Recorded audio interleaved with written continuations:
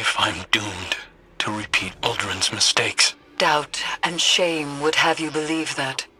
But it is a lie we tell ourselves when we are afraid of doing the hard work of change. Do not fear. Easier said than done.